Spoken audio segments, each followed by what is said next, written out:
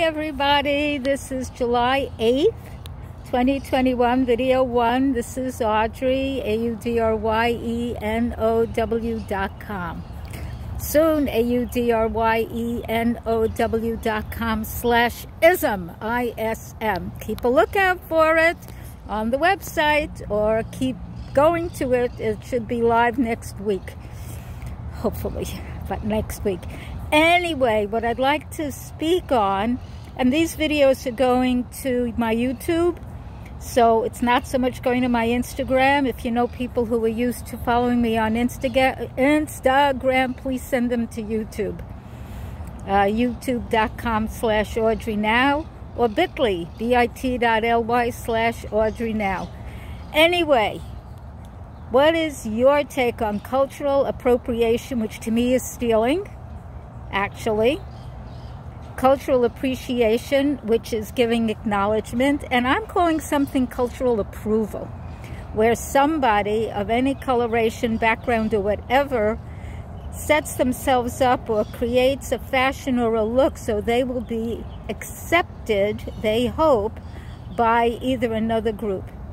Now, I may say certain things now that may feel controversial, but you know, I have to simply say it with love and love and love. Some years back, people of color, especially women, and even before that, men were straightening their hair. Why? Mainly, mainly to be accepted into white culture. I'm not saying I understood it, didn't understood it. I got it. I understood it. It's like when men, I think in the 30s, maybe the 40s, before I was really running around loose were having these styles with hair straightened. So, which I, when I saw them on television or wherever, did not appeal to me. But then again, I'm a different kind of woman, different kind of person. And that's no better than cultural appropriation done for different reasons. Because one is stealing and patronizing and approve cultural appreciation is acknowledgement. I've worn African clothing. I've been to Africa. I have African friends, not as much in Florida, but in New York I did, and hung out at places with African people, not African American, African, as well as African American. I've been there. I had property there that because I didn't follow up on account of I didn't know how to create the money, I no longer have. And that was way back. Would I like it back? Yes. Okay. And this cult seeking cultural approval, that needs to be over. You want to straighten your hair, straighten it. You want to curl it, curl it. You want to stick it up in these interesting things I saw women do umpteen and a half years ago in Nigeria. Let's see, my daughter was a kid. I know how old she is now. About 35 years ago.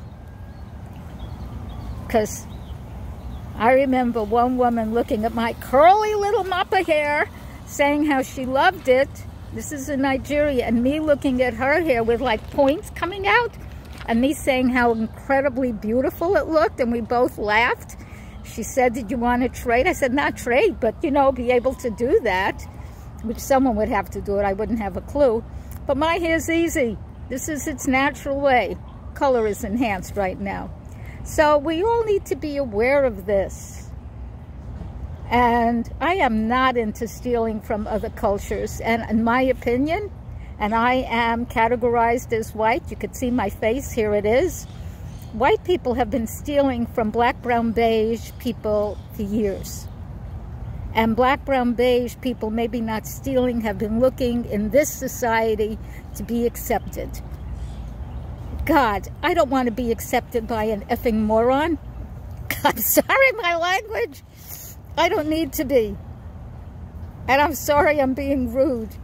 I'm looking to be quote unquote accepted and I'm lucky that I am by people I love. And I live a very multicultural, diverse life. So none of this being accepted by people that quote unquote look different than me because of a skin or hair or a little bit the body. We all have the essential sameness. Anyway, I'm simply saying be aware and acknowledge what you're doing. You don't have to be guilty and you don't have to hide, but you need to acknowledge and you need to shift. That's why ism freedom. Be free of the causes and effects of racism, sexism, and other isms. My new course, launching on September 17th, 2021. Blessings. Bye-bye. Thank you.